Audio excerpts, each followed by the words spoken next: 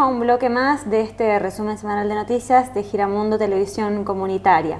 Como les anunciábamos en el inicio, la idea de hoy era poder profundizar sobre temas económicos, que es un tema que tanto nos preocupa, por eso lo tenemos aquí a Nicolás Aroma, él es economista y también parte del Centro de Economía y Finanzas de Mendoza. ¿Cómo va Nicolás? ¿Cómo estás? Buen día. Bien, bien, muy bien. Bueno, acá justamente queríamos invitarte para tratar este tema de la macroeconomía que está, bueno, tan eh, en, en boga del discurso político actual, que suele tuitearse sobre el tema y demás y eh, bueno, en particular sobre el dólar también, que eh, en, estas, eh, en, en, este punto, después de los anuncios de Luis Caputo, ha habido una presión de parte del mercado financiero en, cuanto al valor del dólar, que debería actualizarse o no.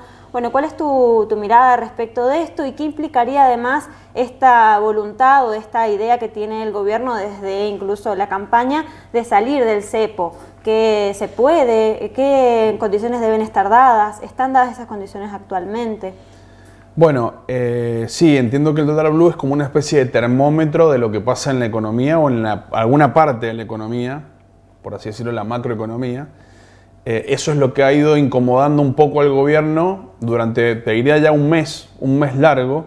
De hecho, la conferencia de la que vos mencionás de Caputo Bausili, ministro de Economía y presidente del Banco Central, un poco era para calmar esos ánimos en el mercado que venían haciendo eh, una presión de evaluatoria, básicamente, porque consideran que el dólar está atrasado, como se suele llamar o sea que eh, debería valer un poco más de lo que está valiendo hoy. Sí, porque en realidad, a ver, eh, hay que ver contra qué está atrasado o adelantado el dólar.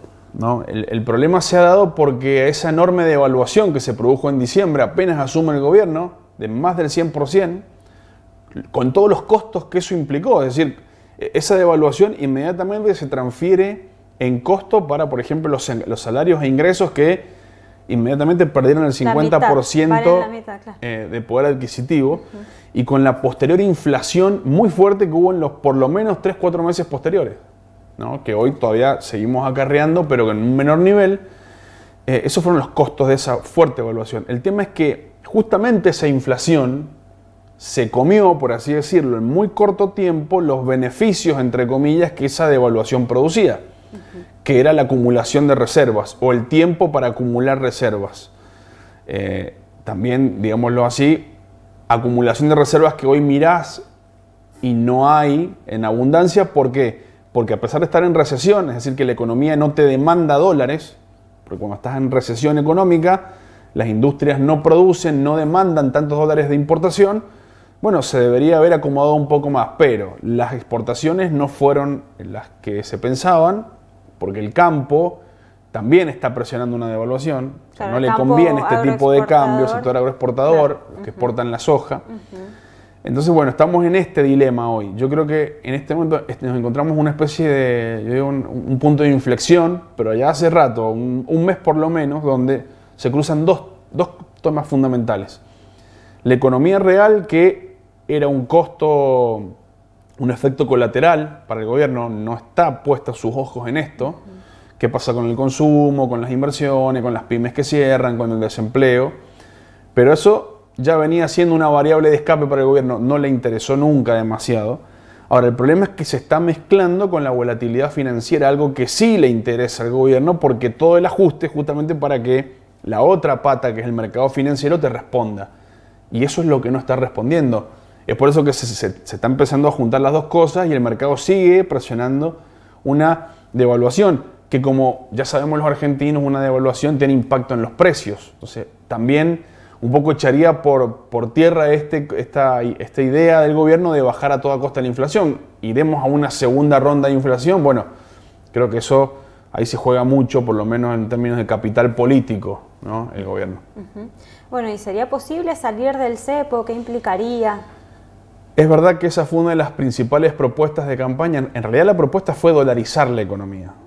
¿no? Hoy estamos discutiendo que ya con el dólar a 1.500, te diría, para redondear, en los dólares financieros y el blue, y todavía ni siquiera damos este paso de salir del cepo. Para salir del cepo, es decir, liberar el mercado de cambios, como en algún momento eh, se produjo, necesitas dólares, o necesitas dólares acumulados en el Banco Central para aguantar el tipo de cambio, o sea, una nueva devaluación en el caso en que todos quieran pasarse a dólar. Un poco así es la explicación. Eh, y eso es lo que no está. Porque los fondos internacionales no han aparecido, ni de los organismos multilaterales, como por ejemplo el FMI, que no hay noticias de eso, eh, ni tampoco de las inversiones privadas que aún con todo el, eh, así el, esquema de beneficios que se les ha otorgado, ¿no? de ley bases, regímenes especiales de inversiones, tiene un tiempo, en el mejor de los casos, para que entren. Y por otra parte, la liquidación de soja, a pesar de no estar en sequía, ha sido magra. Entonces, bueno, porque quieren otro tipo de cambio, justamente. Entonces, claro, acá donde se produce el cimbronazo de estamos en condiciones de levantar el cepo, el mercado está presionando para que esto se haga. Eh, algunos incluso consideran que era mejor, estamos mejor para hacerlo hace unos meses atrás que ahora, porque ahora sí hay presión financiera. Eh, el gobierno no quiere poner plazos, pero está intentando dar señales como que en, algún momento esto se va a levantar. Hoy el mismo gobierno advierte que eso sería riesgoso. ¿Por qué? Justamente porque no tiene los dólares para aguantar eso. Esa acumulación de reservas que empezó fuerte en los primeros meses del año se desinfló y tenés que todo lo que se acumuló o es deuda, o sea, o no se pagó, o son bonos de deuda que también vas a tener que afrontar el, que, ve, que ve el mercado, que son los que piden la liberación del cepo. Y también ven que por delante Argentina tiene un alto nivel de endeudamiento que enfrentar. Hay como 20 mil millones de dólares que entre este año y el próximo son como una montaña de vencimientos en dólares que hay que refinanciar. Entonces, eh, bueno, es todo un desafío porque ¿cómo haces para acumular frente a todos esos pagos? ¿O vas a desfoltear la deuda, es decir, no pagarla? Bueno, eso sería muy, muy malo para el gobierno nuevamente. Entonces estamos en esa encrucijada. Creo que un poco el dólar blue, el aumento, que ya viene siendo sostenido semanalmente, eh, muestra esto, esta incertidumbre. Bien. Bueno, y por otro lado, el ministro de Economía, Luis Caputo, en, conferencia dijo que hoy la situación es atípica por varias razones. Estamos en superávit fiscal, superávit comercial, superávit de cuenta corriente y emisión cero. ¿Qué hay de verdad en esta afirmación y bueno, cuál ha sido el costo para lograr esta supuesta estabilidad macroeconómica?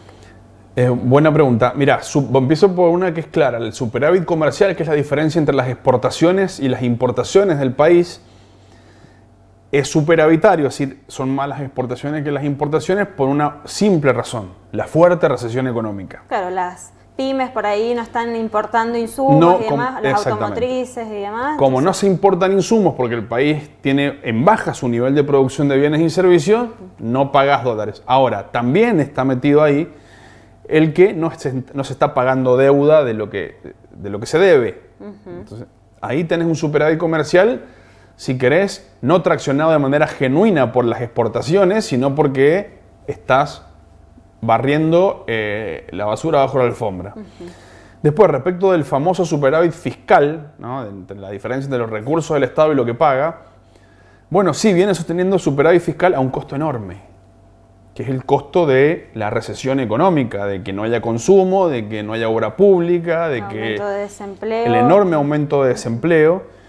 Y después en los números finos, ahí también tiene una duda el mercado, porque ese superávit se está consiguiendo en base, por ejemplo, al impuesto país que es el único impuesto que está aumentando hace seis meses. Pero en septiembre eso lo modificarían. Lo modificarían. Eh, otra duda, ¿no? ¿Cómo sostenes el, superávit? Porque ya la motosierra, como le llama, ya llegó tiene límites. La licuadora, que es licuar los gastos jubilados, por ejemplo. Gran parte del ajuste ha sido en base a la licuación de las jubilaciones.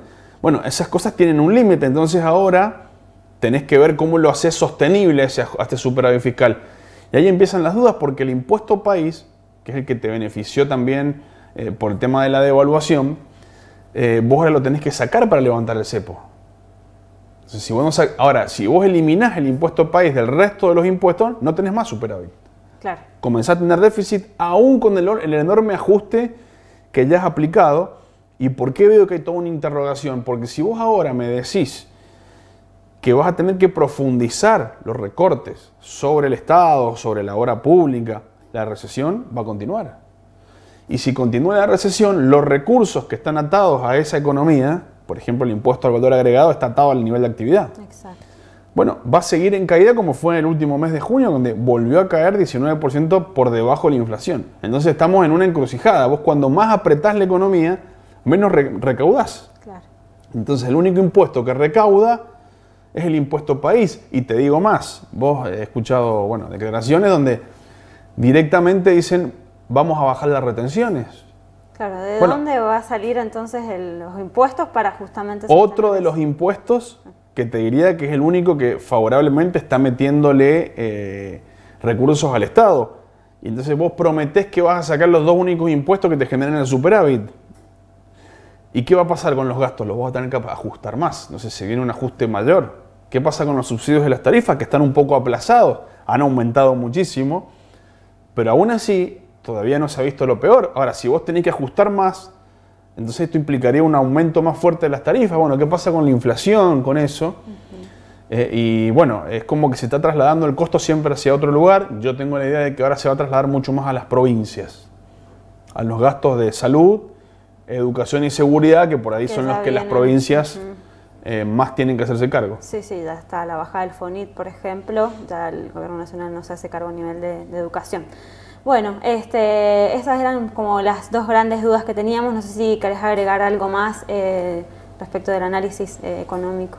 Me parece que estamos en este momento, un poco, un poco un punto de inflexión, que es, se han mezclado las dos cuestiones que no le hacen bien a la economía. Una caída fuerte de la economía real que no vislumbra recuperación todavía. Si no toca los pisos, que en un momento los tiene que tocar, pero todavía las caídas de la industria son, son mayores a la del mes anterior. O sea, por supuesto, interanual es mucho mayor la caída, pero no hay un piso en la, recesión y a su vez la primavera con el mercado, o la luna de miel con el mercado, parece que ya se ha terminado. Entonces estamos transitando los dos caminos a la vez. Eso no, eso no lo había transitado nunca el gobierno en estos siete meses.